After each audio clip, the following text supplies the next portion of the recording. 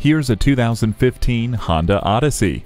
This Odyssey has it all, including power adjustable front seats, wide mode adjustable second row seats, one motion third row magic seat, and smart vent side airbags. Convenient technology features include a remote entry system, Bluetooth streaming audio, intelligent multi-information display with high-resolution screen, and a rear-view camera.